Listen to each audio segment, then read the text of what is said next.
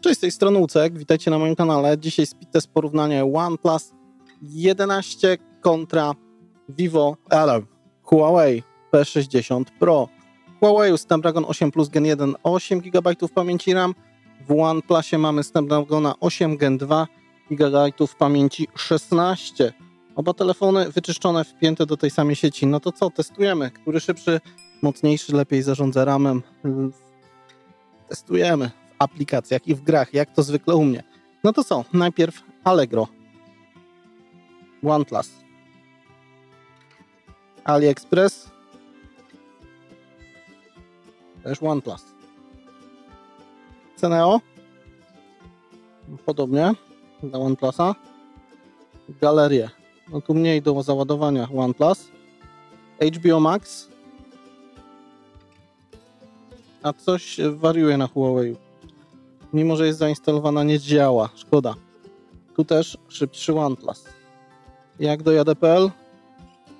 Dla OnePlusa, chociaż tu zamarudziło trochę. Mapy. Dlaczego mapy? Jest Gbox.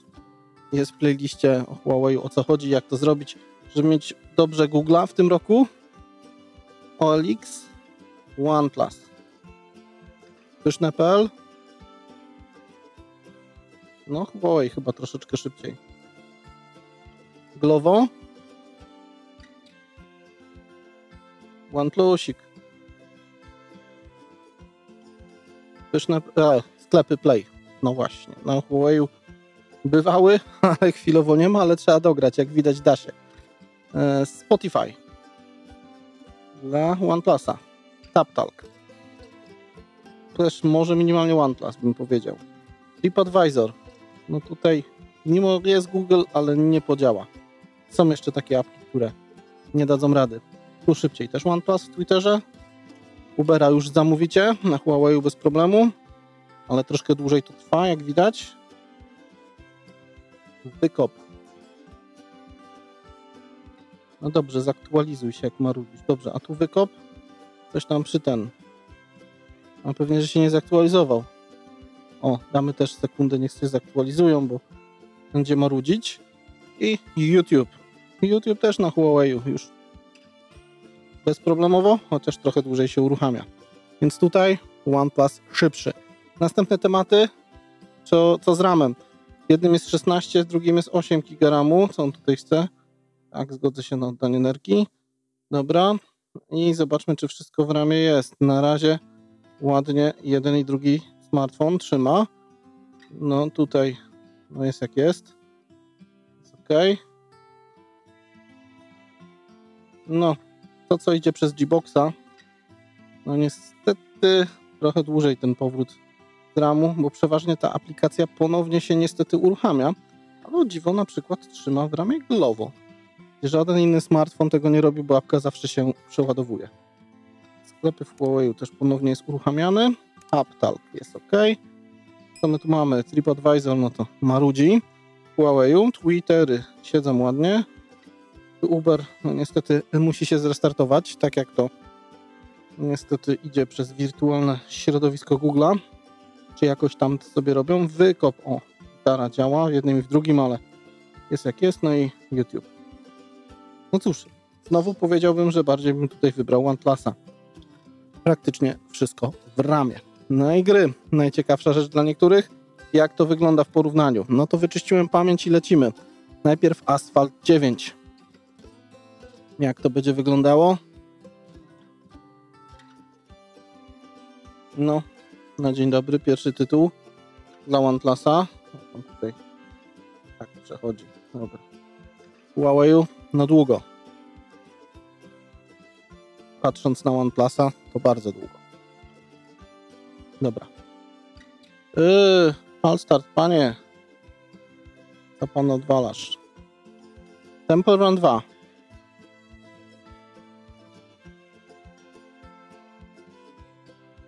No, OnePlusik jest the winner. Dobra. Wild Rift.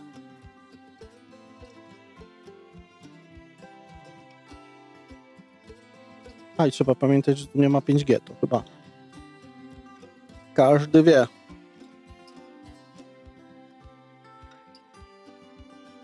No i OnePlus szybszy.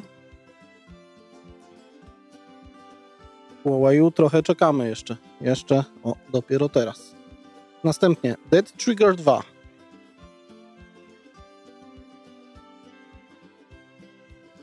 No, minimalnie wolniej Huawei. Unkilled.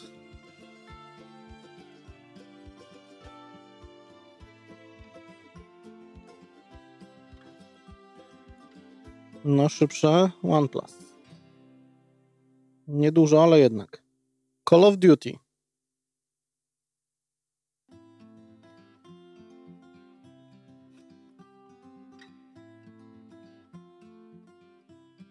No i szybciej po lewej, czyli w OnePlusie. World of Tanks.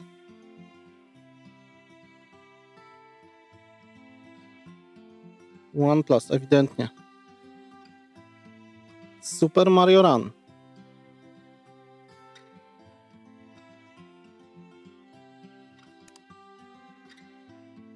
Kolory chyba ładniejsze w OnePlusie, bym powiedział, jak dla mnie.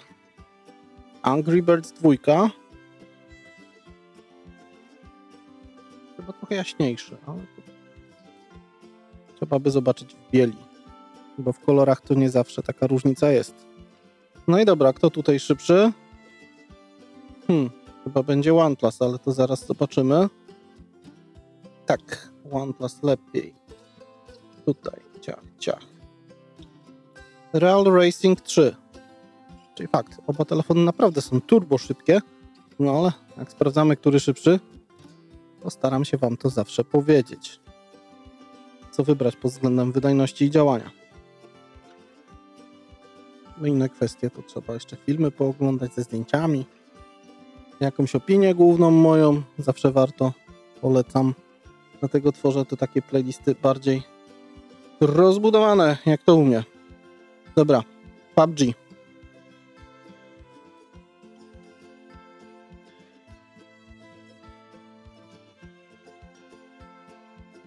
No, tu minimalnie OnePlus jednak szybciej. I Arc Survive. No, doklikam, bo on się i tak restartuje. No, dobra. Tak czy siak, jak dla mnie lepsza tu opcja w OnePlusie. Co zostało w ramie? Tu nic. Tutaj też nic. Dobra. Temple Run 2 to w OnePlusie, bo tutaj używamy G-Boxa, więc się ponownie musi uruchomić. To samo w przypadku e, Wild Rifa. Dead Trigger to samo. No i tutaj od dołu pamiętać muszę tak samo restart w Huawei. No kurczę no. Szkoda, że on nie ma normalnego, czystego Google'a. Tak to by można było realnie sprawdzić, jak to wszystko działa. Tak to no, trzeba jakiegoś plastra na wiadomo co stosować, aby chociaż teraz w końcu się kurczę, czekajcie, ja tu namieszałem. W końcu się da potestować jeden do jednego niektóre rzeczy, bo pamiętam jeszcze z rok, dwa lata temu, no większość gier to no, zapomni nawet przez jakieś kombinowane Google nie chciały chodzić.